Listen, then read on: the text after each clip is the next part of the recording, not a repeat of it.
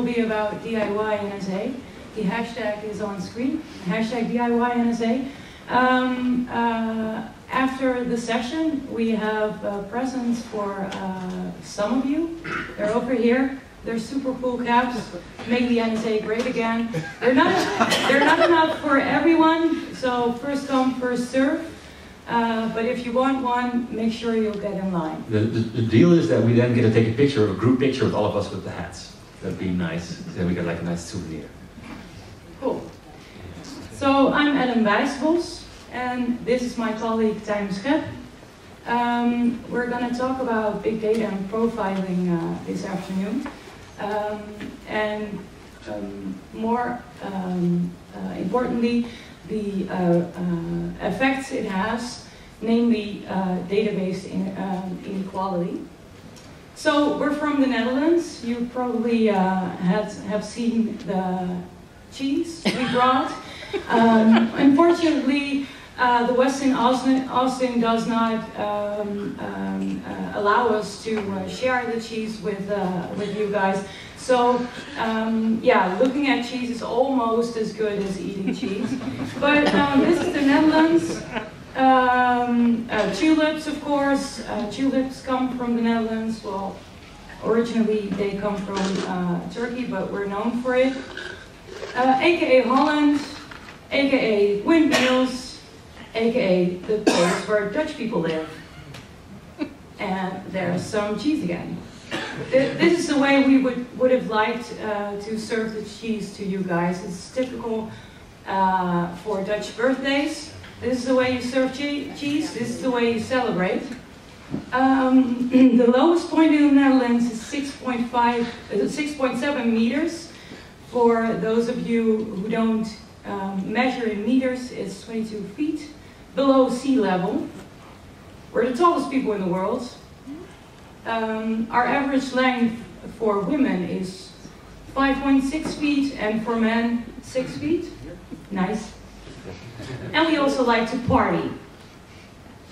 And Dutch parties are mostly about sharing good food with friends, um, trying out high fashion outfits, to impress your friends, really, really about celebrating and joy. And we also like biking, of course. So uh, the Netherlands is a country, um, uh, yeah, it's, it's full of 16.7 unique individuals. And can we get to know them better? So um, later in this presentation, we're going to call a random one. Um, uh, but more on that later. Um, over to you, Tijmen. Thanks. All right. Before we start, before we continue on, on big data, I'll talk a little bit about setup, which is uh, what we are. We are a media lab in Utrecht, the Netherlands. Um, and we do all kinds of, uh, we used to say strange things with computers, but now we say fun things with computers.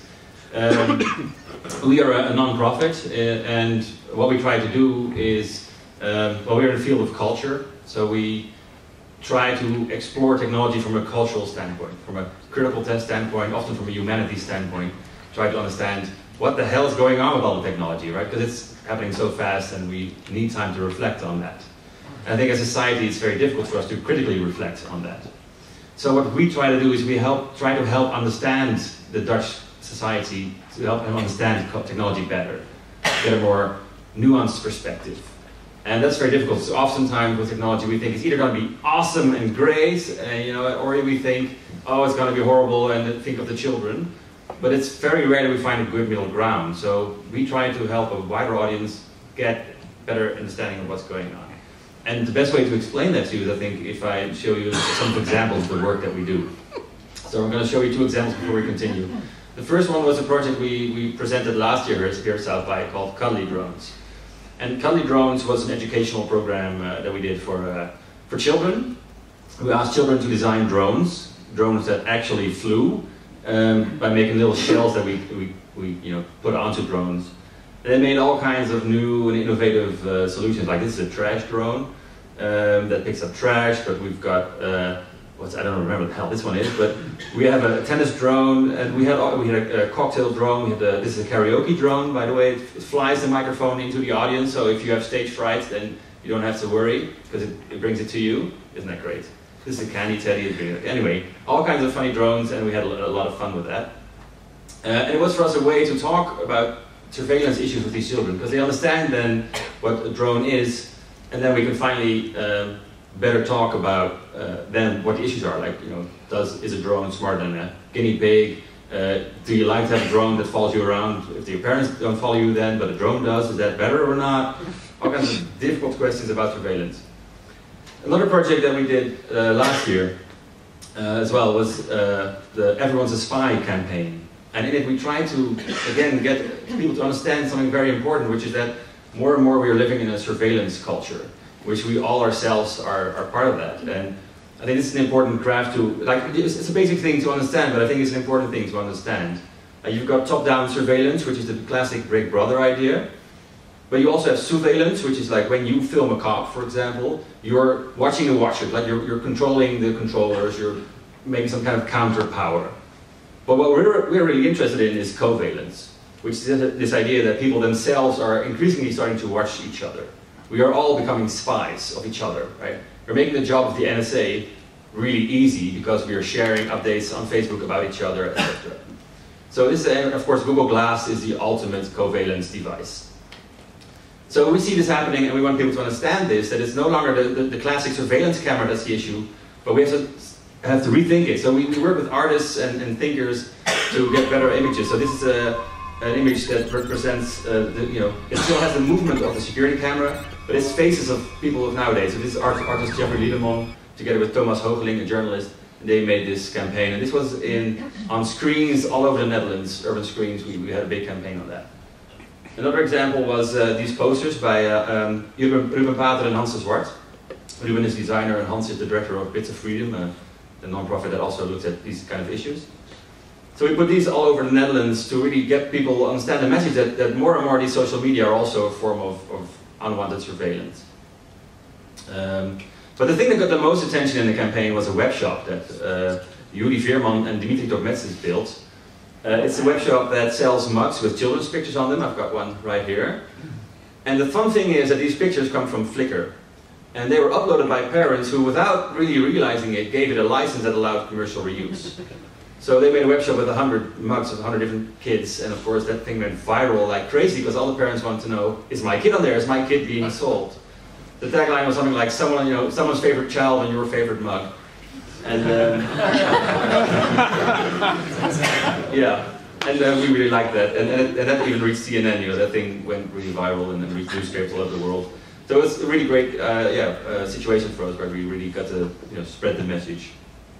Um, and of course, we're really happy with this guy. This guy also really helped us spread this message, spread the understanding that technology is not just some kind of gift and that it's all great, but there are also downsides that we have to understand better. Um, what we really, what really noticed with Edward Snowden's release, and I think uh, some other journalists as well, too few people got angry, right? It, it, was like we accepted it in a way. And I think that's because a lot of people don't really understand the consequences, or that they don't really feel the consequences.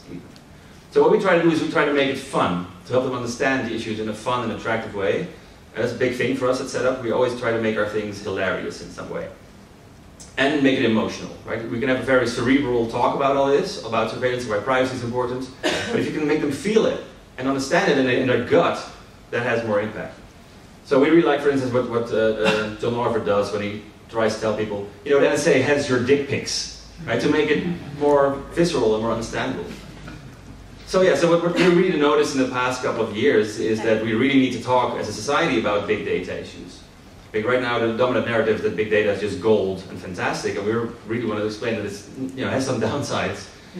And I think every time you click one of these buttons, you know, we're all sharing more and more of us, and we don't really understand the consequences. Like, literally, we don't read these licenses, so we don't know. Um, and we see the rise of this, this group of data brokers and all these businesses and companies that are combining this data, and sharing it, and reselling it, and it's, it's becoming a huge market, right? This is really a growth market. So what we realized at Setup is that if we really want to adequately discuss these situations, this problem, then it might be a good idea if we started building a big database of ourselves, of our own, that to really you know, talk with, about these issues in the coming years. And that's where I give the word back to my colleague, Ellen. Yeah, because uh, we thought um, to uh, grapple a bit with um, uh, when things get scary, uh, maybe you should do an experiment. So um, we wanted to create a database of all Dutch people, um, and we uh, named it the National Birthday Calendar. So we set ourselves the goal to um, uh, create a national birthday calendar, including um, uh, names of all Dutch people, uh, but also uh, uh, dates of birth. Uh, but of course, a little bit of a little a little bit extra. we wanted to see if we could also um, um, do gift suggestions based on profiling. So um, um, we started off um, and um,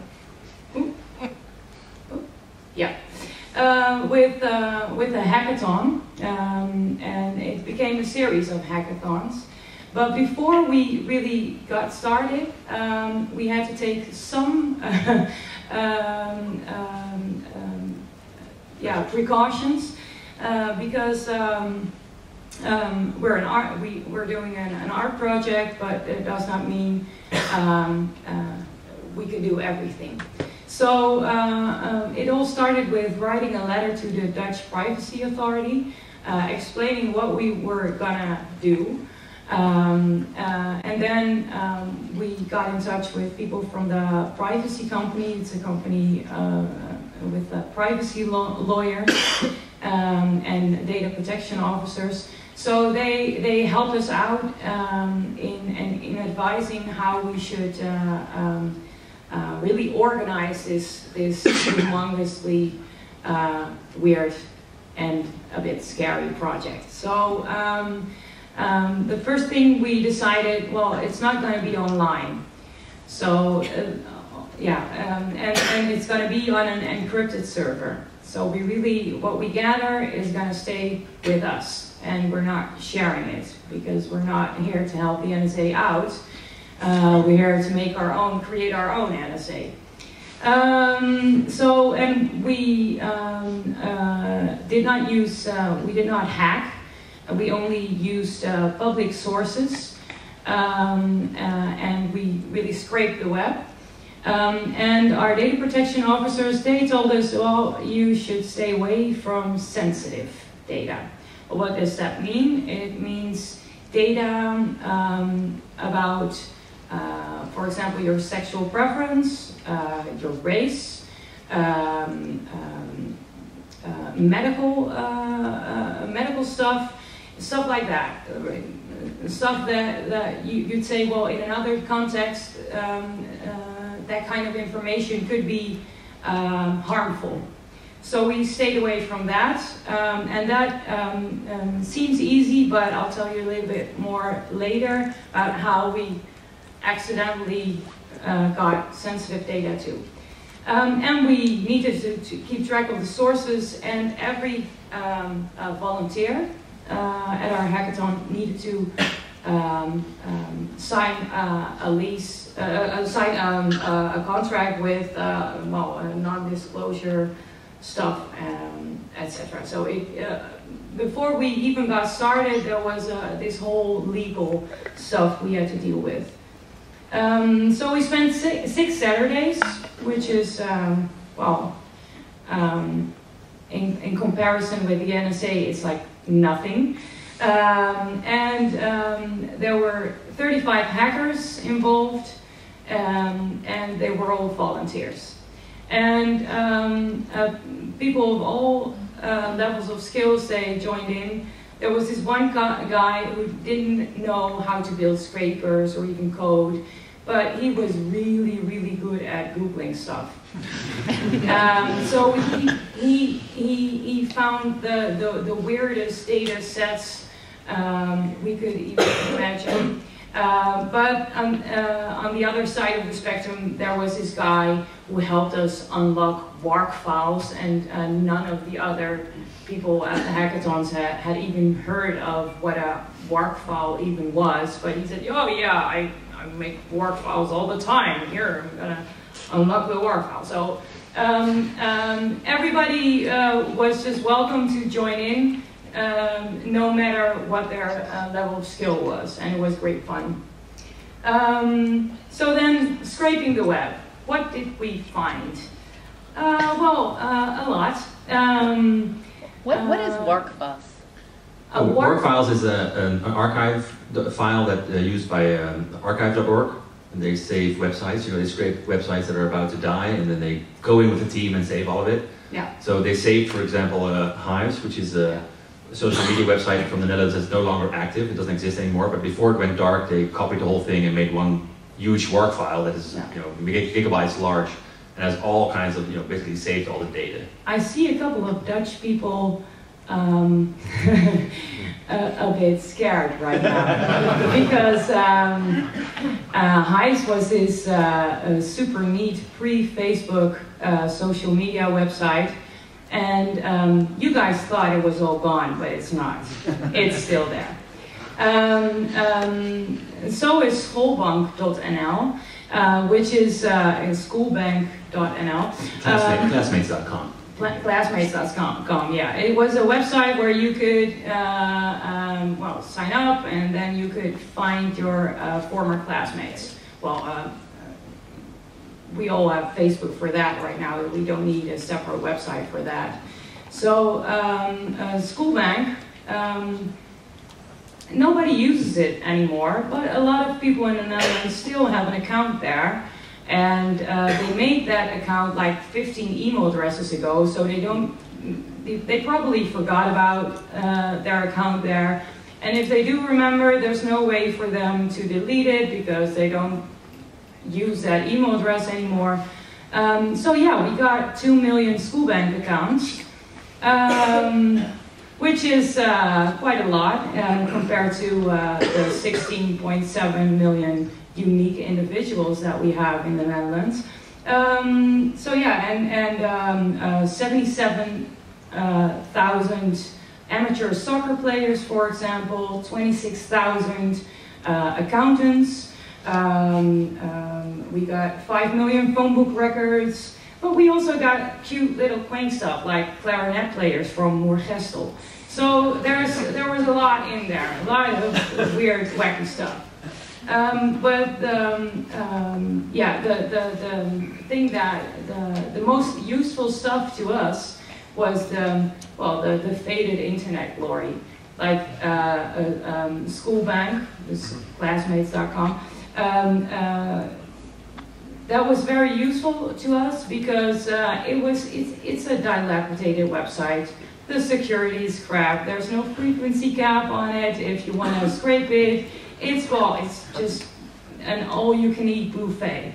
Um, and the same goes for another obscure social media website called 50plusser.nl. Um, uh, it's a social media website for uh, people of 50 years and older, and they, well, it's, uh, yeah, they hang out there, and uh, some 17,000 people still have an account there, and it was just bingo, and it, and it, on 50plusser.nl there was a lot of stuff, like really a lot. We were just amazed at how much we could get. We could get uh, hobbies, interests, favorite books, um, uh, movies, um, but also really sad stories about their hernia. Um, but um, so there was very uh, uh, much there, and um, yeah, but also the um, the, the 50plusser.nl um, website uh, also uh, put us to a couple of problems because we thought, yay, there's so much in there, uh, but then um, in their uh, the, the the bios they wrote about themselves, there was a lot of stuff about diseases and medical conditions, like oh yeah, um, but even in the um, the field uh, work, um, they said yeah, um, I used to work, but since my uh, pancreas cancer, um, um, it, it's, it's all bad now and I've lost my job. So we could use that stuff, right? Because we promised to not use sensitive data.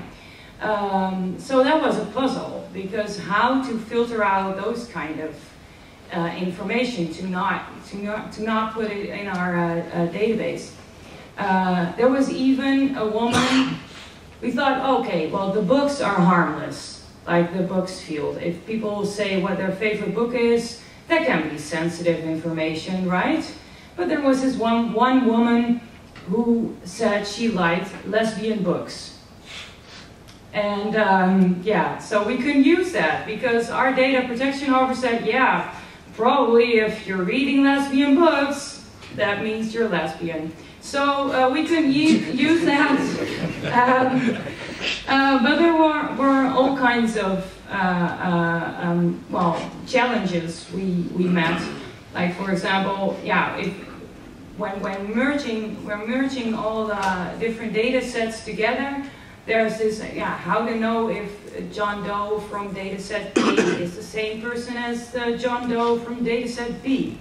Um, um, also, in, uh, at the um, uh, Schoolbank, the, the classmates website, um, the first name and the last name, they're were in separate fields, um, but there were just full names, which made the, um, the, the matching to other data sets really difficult. Um, well, my name is Ellen Bijsterbos. That's pretty straightforward because, well, you can see, well, Ellen, that's the first name, then Bijsterbos, that's the last name. But in the Netherlands, there are also people that are called Martin Jan Vennegoor Hesselink. And then it's all mishmash, and you don't know which one is the first name, which one is the last name. Is the guy married? Does he have two names? Um, so it's really difficult. So we we needed to write pieces of code to uh, uh, clean up the, the, the, messy stuff and really uh, uh, detect the first names and the last names.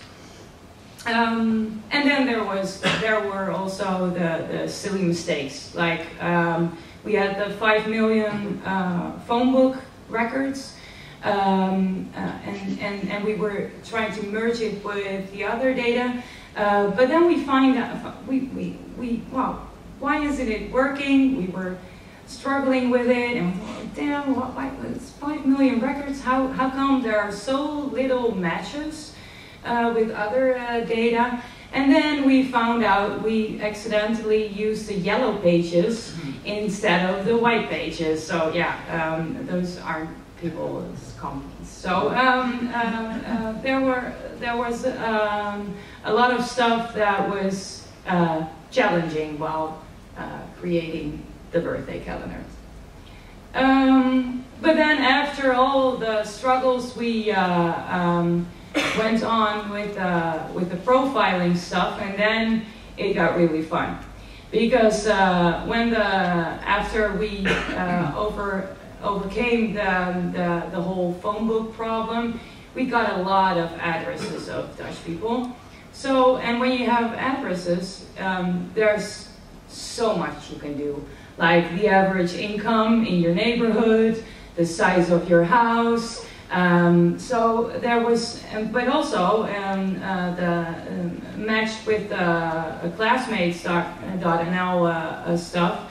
Uh, we could say something about your um, well your level of education, which gives uh, an idea on well um, should we give a Nietzsche book or uh, should we maybe give a selfie stick? Well, it's, a, it's we're talking education. Well, yeah, it's a it's a scale. It's it's the selfie stick on one side, it's the book by Nietzsche on the other side, and then there's a lot of presents in between. Um, of course, I'm I'm not taking a piss at people who have a who own a selfie stick, but come on, you guys. um, but yeah, and if you know um, uh, data on addresses, there's uh, a lot, and, and also uh, this website, um, funda.nl. Uh, it's a site uh, um, uh, where you can look at houses that are for sale. Um, and um, when using Funda, you can you you know if people have a garden, so then you know if you can if the the birthday present can be a goat or not. um, but then we we really went out of our way and we also matched uh, our data to the, um, um, the music charts uh, because there's historical data on that. And then we said, oh, well, we, we know what the, the, um, uh, the, the, the, the well, the number numbers one in the charts were historically, and we know how through the time uh, through time um, the average age um, which, on which people have sex for the first time changes through time. So we um, we know the soundtrack to when you lost your, your virginity. And maybe it was Barbie Girl. Who knows? Of, we know of some people in our birthday calendar that indeed Barbie Girl was the song they lost their virginity to. So yeah, um, the results so far. Um, because it's it's an ongoing process and we still uh, are still working on uh, our calendar. Um, of the 16.7 million Dutch people, we have uh, 700, uh, 793,251 uh, unique persons, but there's still a lot to be done because we know those are unique, uh, they're real persons, and but there then there's uh, like 8 million data points left that we we haven't figured out yet. It's a work in progress. Yeah, it's we don't know if well they're probably real, but we don't know if those eight million are unique. Like it could be uh, they're not matched yet. So uh, second thing is um, the wins we made for privacy because, um, for example, the uh, accountants registry in the Netherlands they um, uh, noticed that we uh, got uh, 26,000 accountants, registered accountants, um, and they thought, well, hey, 26,000 registered accountants, we're the guys who, who are running the, the register. Um, so um, they uh, uh, gave us a phone call um, and uh, we said, well, uh, could you please remove our accountants uh, from your birthday calendar? And we said, oh, of course, we're not here to, um, well, bully accountants. That's not what we started, started the project for. Um, but we did make a deal. Uh, and now, because we got the, uh, well, first names, last names, addresses, and uh, dates of birth of all the 26,000 accountants, but they changed um, um, the way uh, um, their website. So now people only can see um, um, the, the, initials, the la- and the last name, and uh, they well they, they uh, deleted the first names and um, uh, birthdays. So we made the world a bit more privacy friendly for accountants. So yeah, you're welcome, accountants. so this is what they did. Oh yeah, uh, of course, um, Martin Kaasman is, is, it's not a real name um, because, not only because Kaasman means cheese man, which would be a ridiculous name, but also because of um, yeah, our very, very strict data protection officers. Uh, but the third thing, the third thing, um, yeah, I'm really happy with is that we got to know Luke. Uh, for privacy reasons, we won't say his last name, but we know a lot about Luke. He's this 46 year, year old accountant and he's awesome. And um, um, this is, um, this is uh, um, his primary school. Uh, um, it's called the Agnes School. Uh, but you can see that uh, because we found his uh, uh his primary school on uh, on Google, but you can see that um, it's probably no, the school moved probably because you see signs that the, the building's for sale.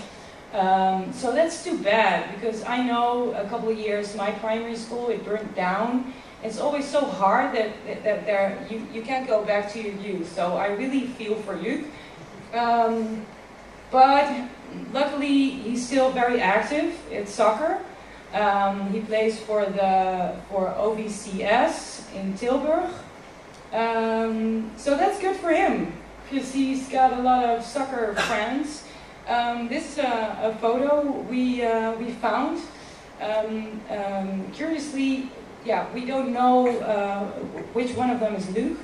Um, and curiously, there were uh, um, uh, under the photo at the tag at, in the photo were more um, people than are actually in the photo. So we're not even sure if he's in there. Um, but yeah, these are the guys he hangs uh, he hangs out with on Saturdays. Um, so that's great for him. And, um, um, there's a reason, by the way, that we took we we sh were showing this picture um, because our data protection officer said that um, if it's about 10 or 15 um, people, then it's not personal data. I really think that's that's um, weird. Like, oh, should we? Because I, I like to to to um, uh, to have an exact num number, but she said, yeah, well, just ten or ten or fifteen, you'll be fine. So, so you can't narrow it down further than that. If you can, then it's called personal data. But if, Yeah. if you can't, it's like always like one of these 15 people, then you're fine. Yeah, but 10 or 15, 10 to 15. So that that really, uh, Keep a piece of guessing. yeah, yeah, like oh, should we go for oh, about 10 to 15? You'll be fine. Um, so yeah, uh, good for you, Luke. Um, yeah, time to keep our promise. Um, we uh, promised that we would call uh, someone from, from the database. Um, so we're going to do that right now. We talked to our privacy officers about this. We wanted to think of something fun that we could do, and uh, they actually said this was okay, to our surprise. Um, so we had to do some some uh, some things beforehand. We had to make sure they were not in the sensitive part of the database, which you know, of course they're not. Um, and we did, we're not going to show you the last names and all that kind of thing, but we are allowed to call them because according to our privacy officer, they did put the information online, so there is a certain Yeah. level of uh, privacy there. Yeah. We can we can bring our our server uh, due to privacy legislations. We couldn't take it to the U.S. So um, we picked five. Um, but you guys can pick which one we should call. I have five phone numbers in my phone, in my cell. So which one? Um, Tell us, Should, which should one? we call Erik? Frank Jan? Frank So it's, what time is it now? It's, He could be sleeping. It's about yeah, Frank Jan? it's six hours later in the Netherlands. It's six hours later in, later in the Netherlands. So it's his it's birthday right now. And it's about uh, 10 in the evening. 10 in the evening. Our birthdays are all today. Yeah, Yeah, our birthdays are all yeah. today. That's, Oh, that's yeah, the whole all point. day, Yeah. all So day. we're gonna, our- our- So it's, it's 10 in the evening right now, so we're, we're just in time. And we would like, of course, we're not calling them for nothing. We our question to you is, will you help us sing Happy Birthday to you? Yeah? All Right right. on. So number three, Frank. Yeah. Do we have to sing in Dutch? All No, we Oh, don't. just happy No. birthday. All right. We thought about this. We're gonna like try to get them to speak English. Dutch people generally speak English quite well, so Can I ask you something? yeah. How did you get the cell? Sorry. How did you get the cell number? From the phone book. I'm going, shh.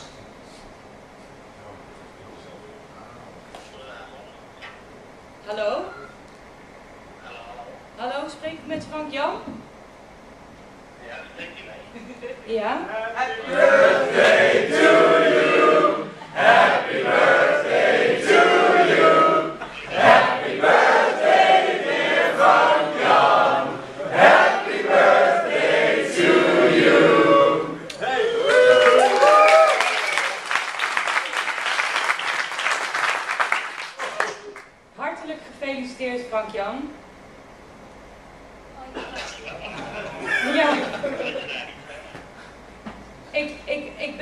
Ik bel je straks eens even terug, dan leg ik het allemaal uit.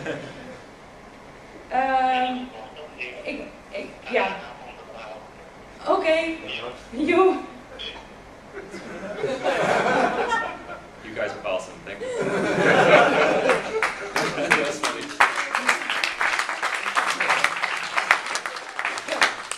I said um, I'm gonna, uh, I'll come after the presentation to explain a bit what we did, but I don't think he, uh, Yeah, then you do it. he had any idea.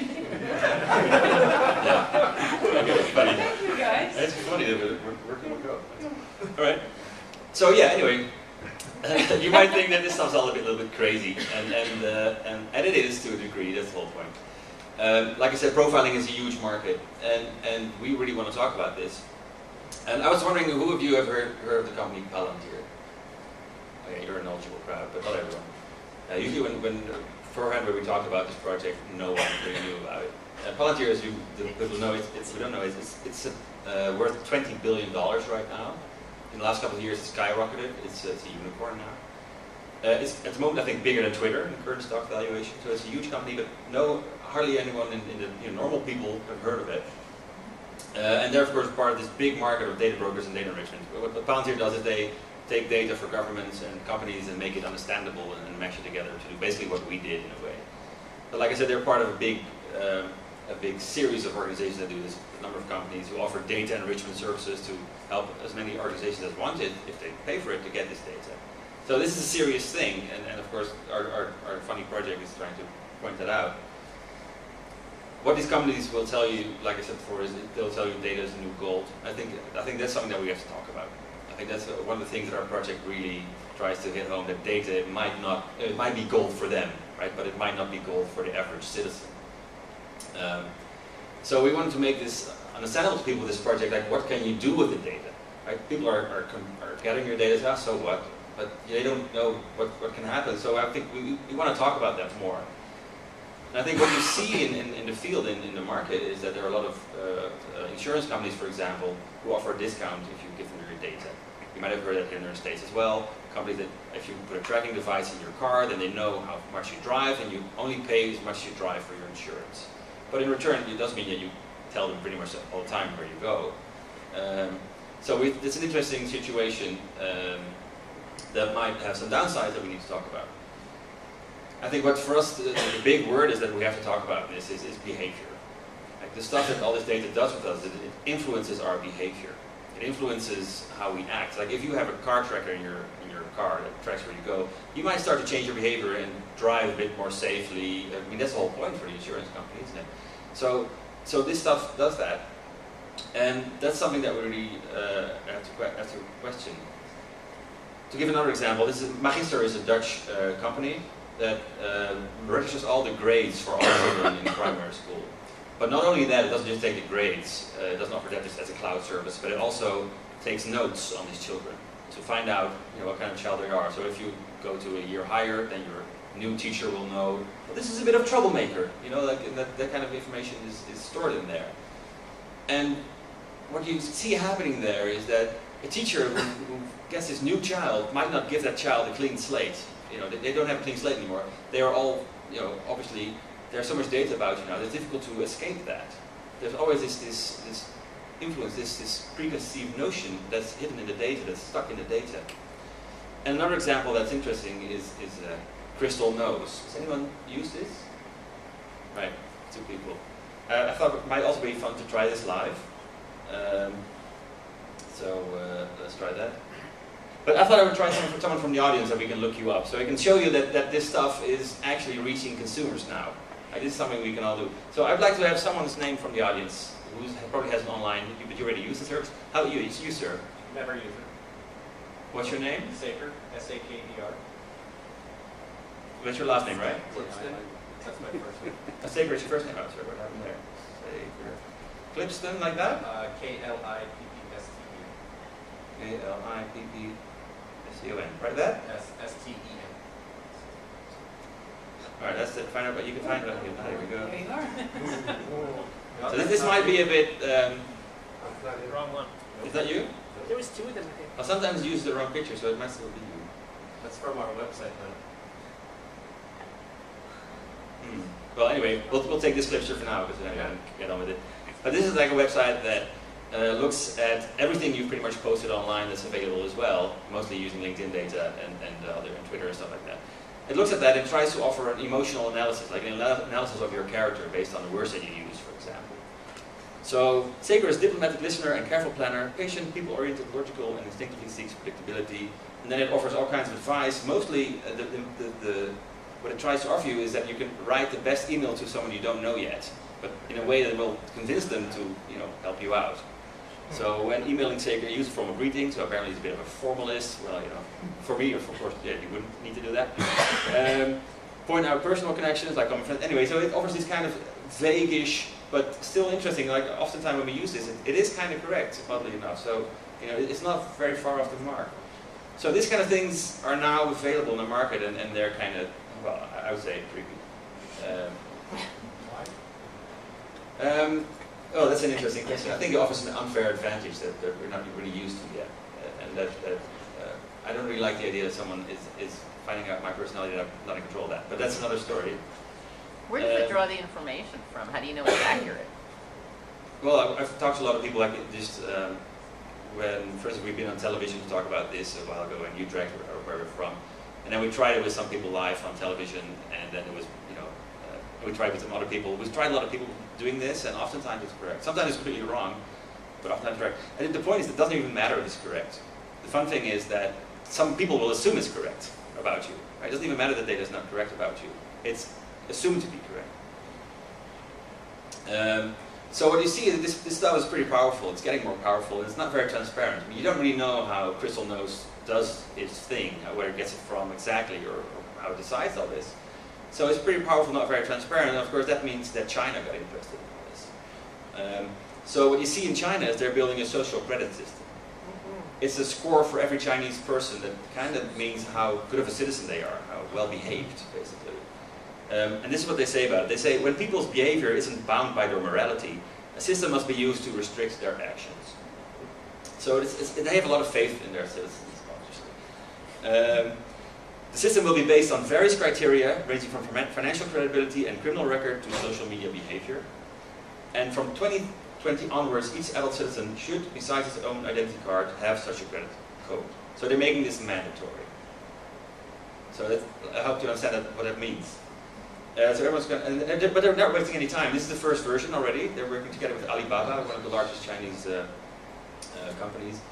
This is the Sesame Credit Score app, and it already gives you a score based on what you buy and, and uh, your credit worthiness and if you pay your bills on time. And it's already hooked up to the largest dating website in China. And uh, so it allows you to kind of see if your potential date is trustworthy or not. So yeah, that's interesting to us. So things like are you buying the right things become kind of important.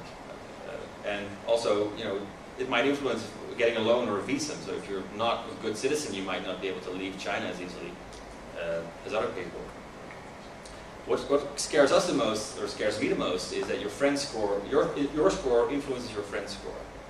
So if you have a low score in the system, then you might drag down your friends. And I start to wonder, like, what will that do to the social fabric of such a country? What will you get a new kind of stratification, a new type of data discrimination, where it's not about, um, you know, your gender or all that stuff, but it's about what you do, your behavior, your data. And I think we're less primed to understand this. This is a lot more invisible. And of course, Sesame Credit will not divulge exactly how it calculates its credit scores, explaining that it's a complex algorithm. So again, you see this, this untransparency of the whole system. You, you don't really know. Um, so that's where we are now. This is, this is something that worries us. So what we really want to do now is, is have poke more fun at this behavior design aspect of big data. That's a bit of a next step. What we're going to do in the next year, in this 2016, is we're going to um, ask artists to work with our database, basically. Um, and we want to, uh, yeah, get them to, to make these, these visceral insights into what privacy really is about. And the first thing we're going to do is we're going to create a traveling experience based on our database. Because we're, we don't want to put it online, like you said. It's, it's too private, uh, too personal. Um, and, but we will travel it to festivals and libraries so people who can show us their identification can look it up, look at it, and find their own data. But of course, we'll use that moment to get even more data about them, if possible. Anyway, our, we are working with uh, um, theater makers who are, are working on this, making this an interesting experience. Another thing we're going to make uh, this year is, is more towards the Internet of, thing, Internet of Things. We're going to make devices that will discriminate depending on your profile and the information that we have on. So, for example, you might have a toaster that will uh, burn the toast just a little bit if you have a bad profile. to give an example, but we're asking artists and creatives and makers to make all kinds of devices like this, and we're hoping to sell that in a fake shop in the shopping mall in the center of future. And, uh, and yeah, again, that's a way for us to reach the wider audience about these issues and understanding that these devices are not, you know, could do this. So the whole point that we're trying to make is that big data does have a downside. I think we don't talk about that as often. We'd like people to understand that data is not neutral, because the algorithms that handle them are not neutral. And like the Chinese government decides what is you know good and what is bad, and they, they put it inside of their algorithms, so these algorithms are not neutral, and the data is not either. And we often hear that data is new gold, but we don't think it is. We don't think it's new gold for people at all. We think a better metaphor for data would be to call it the new oil. Because with oil, we understand a lot better than with gold that there are downsides to it. Uh, gold is just great. But oil, you know, it's great for some stuff, you know, all kinds of stuff are driving around, but it also has, has, you know, done this kind of thing. And we've, after 50 years of working with oil, even longer, we've, we've really finally understood this better. And I think with big data, we have to have this kind of attitude to, towards it. Yes, it can be great, but it also can pollute our social environment. So what we've learned in all this is in the past two, three years working with these, these revelations of Edward Snowden and working on these projects that explain privacy in a, in a fun way, is that you do have something to hide. But it's not about being a terrorist, it's, it's about your everyday life, right? About the chance that you get to, to find a job or, or find a date uh, in all these, new, these brave new worlds. So um, it's way more day to day, way more normal. I think this is what people don't see yet. They're like, oh yeah, I have enough to you know everything. No, it's about this kind of stuff. Anyway, what also is uh, a, maybe a nice thing is that I've finally been able to define privacy. For me, privacy is the right to be imperfect, uh, the right to not be the perfect consumer or the perfect citizen. Like, like as we're here in Austin, it's, it's the right to be weird, right? Keep Austin weird, keep people weird. And, and that's only possible if we have some free space and, and are not controlled or not nudged in certain directions all the bloody time. So I think this is something that we don't really uh, as a society understand this well yet. And I think we should. Um, so yeah, because price is right to make mistakes, and I think even in an entrepreneurial setting that I think South by is, is mostly, um, when you have privacy, you are more able to, to create and to be crazy and to come up with new ideas and, and think out of the box, right? And to feel less pressure to conform. And that might be good for innovation, right? So privacy might help innovation. It's an argument I'm not, you know, I think we have to make better, that, but I think it's an interesting angle. Uh, so I'm very happy that Apple, Apple is fine for this. So I think as a society we need to be able to keep breaking the rules. I think that's very important. And I worry that if we don't come together on this and understand this better, then we might, might end up with a society that's much more well behaved, sure, but also maybe less human. And I want to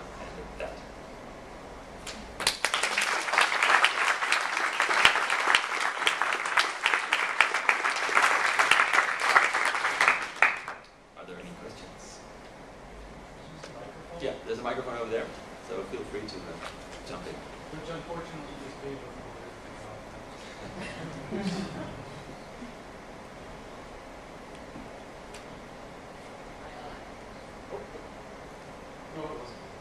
Now I'm being recorded. Uh, fantastic talk. So uh, you touched briefly on credit card scores, which are also, to my knowledge, a privately calculated algorithm uh, that tracks all of our purchasing behavior.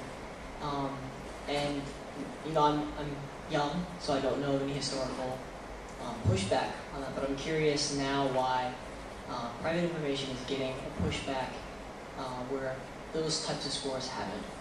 Uh, and if, if there's, like, I, I, guess, merit in what I'm saying. Uh, well, the pushback, you mean that, like, that people don't like it, or? Yeah. That's a good question, I don't know. Um, in Holland, um, credit scores are less of a thing, I think less visible than they are in the United States, so I, I'd have to bounce that question back. Um, you know, I, th I, think we should. I think we should care about all this stuff. Right? It's, I don't discriminate between these types of scoring systems. that answer the question anyway. Hi, I'm, I'm wondering, one of the last slides you said, will people behave better, makes people behave better. But what about the aspect that it makes people be able to be in control of people and their behavior might not be better? Yeah, that, that's, um, of course, what is defined as good behavior? That's the big question in this. What the Chinese government defines as besides good what good behavior is? Yeah, It's cultural. So, uh, Yeah, because it doesn't good behavior really come out of other people being accountable to other people? Being, sorry, uh, Doesn't good behavior come from being accountable to other people and not restricting who the other people are? well, the, the- Chinese government would disagree, but um, I mean, that's again, it's a cultural value that we have, I think, and, and it's a, if we care about this, and this, then we have to put this into our systems, into our technology, and that might also mean that we don't build algorithms that imply that you are not able to decide this stuff for yourself, that, that force you to become a better human, but that we offer some space to people to develop themselves freely. But yeah, I, I, I saw a- an artist sign and he said, when did it stop being about who is basically lying, cheating, and stealing, and it become about who gets to decide who is lying, cheating, and stealing? I thought it was an interesting. I agree. That, that, that's the thing. Who makes the algorithms? That person is getting a lot of power, and, uh, and that's also very untransparent. And, and also, um, uh, when, when profiling is used, it doesn't even matter who is really stealing or lying or cheating. Um, it's about, you, you can even get a, a profile saying, oh, she's, um, uh, she has a high risk for uh, cheating and lying uh, because your friends are cheating and lying. Doesn't even mean uh, you, have, you are uh, that kind of person. So there, it's, it's also about all the, um, the assumptions that are being made uh, because you are part of uh, a group profile and you're not seen as an individual. Yeah, you become a statistic, and a statistic starts to influence you in certain ways. I I'll, I'll- I'll leave you with one more saying that someone said, um, someone who had worked on Wall Street, his mentor, his mentor said to him, it doesn't matter whether the information is true, it, it matters whether the other person believes the Exactly. information is Exactly. true. Exactly. Yeah. So when I was younger, I used to put in a lot of, lot of fake information, and now that's coming to haunt me in a way because now people think that I'm uh, uh, oh, some kind of weirdo, you know. So it's, it's uh, of course I'm not a weirdo. So yeah, so this is this yeah, it's become more difficult to uh, to play with that, I think as well. Yeah, yeah, it's an interesting situation. So I wanted to, you know, like the insurance thing, the car insurance thing, like that, that accepting that data and, and you know, lowering your rates and that kind of thing. As a, someone who does innovate and does make things, sometimes people, like we don't make those kinds of things maliciously, right? We don't really intend. Like, like I made something for a building that when you walked in, it tracked all the people that walked in the building, and I had it.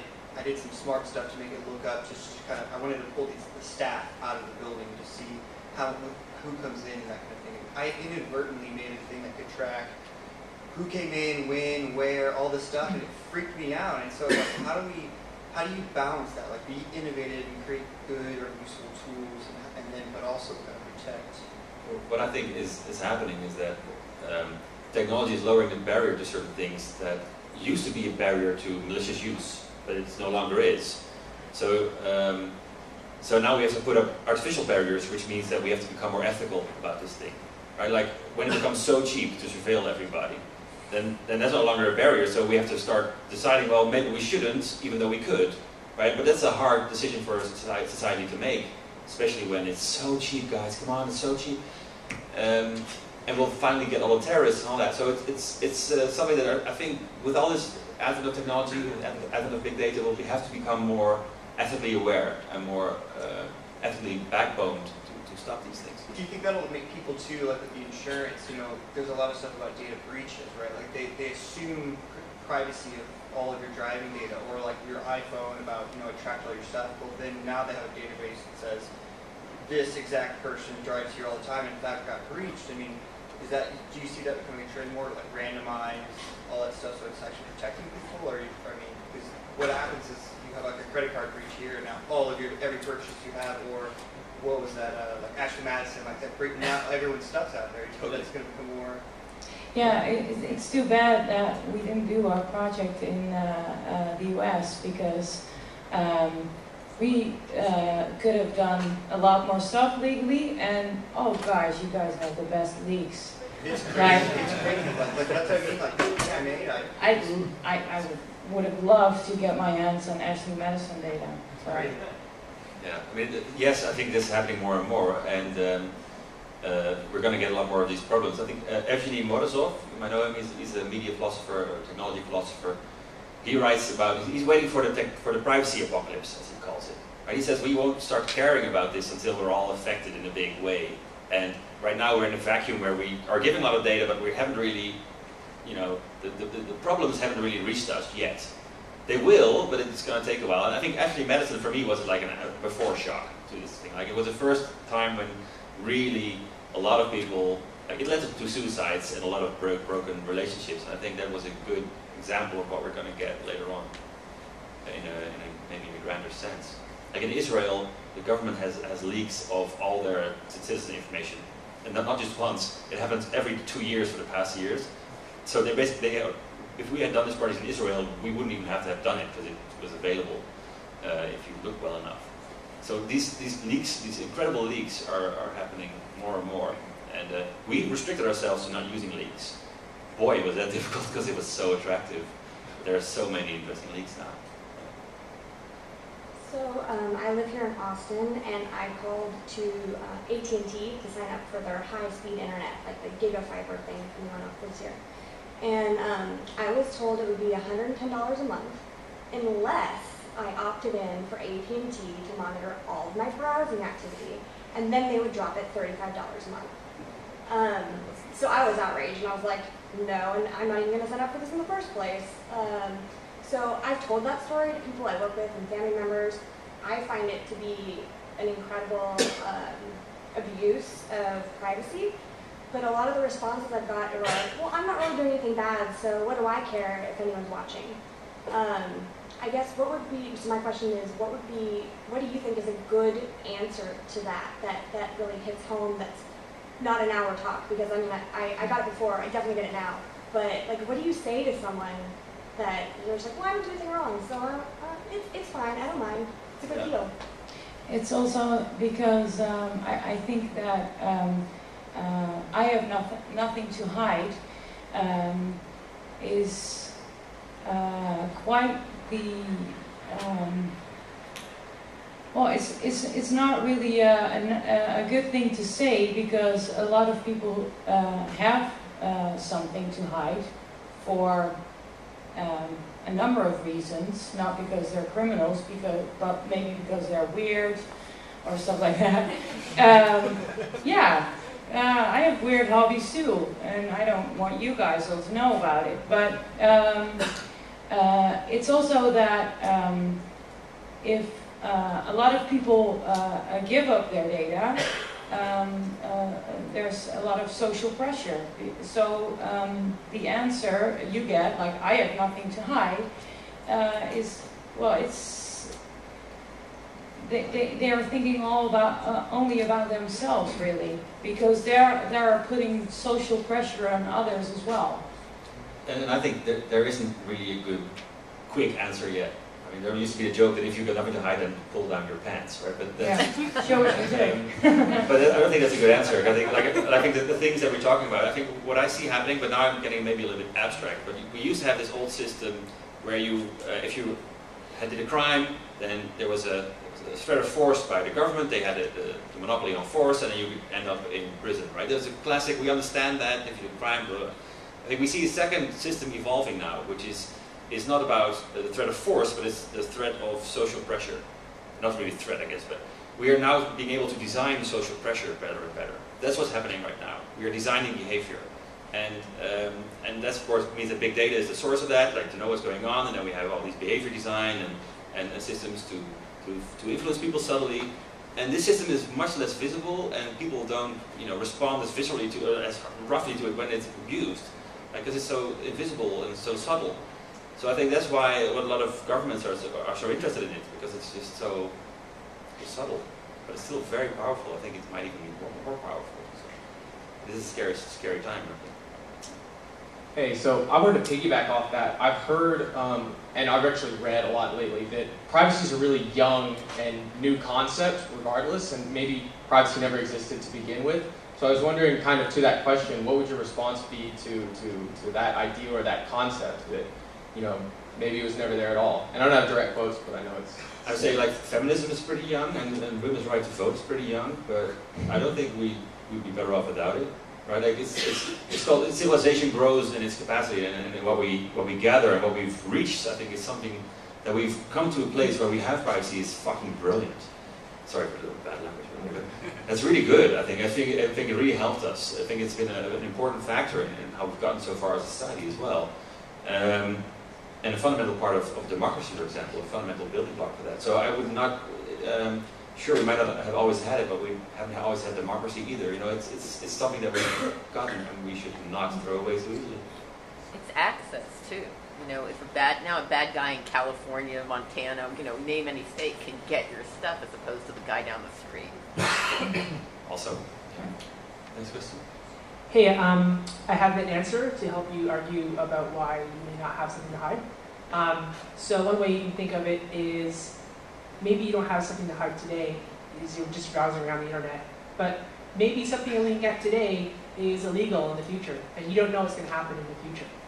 And once you once you do something on the internet, it's there forever. And potentially, you know, 10, 15, 20, 30 years from now, something you're looking at now is legal and it can come back to haunt you if that data has been captured. So that's one way to think of it. An example we use. apologize, It. but we have ten Yeah. minutes Yeah, at sure. this point. I do apologize, but we do need to make room. Yeah. So if you want to join in on the group photo,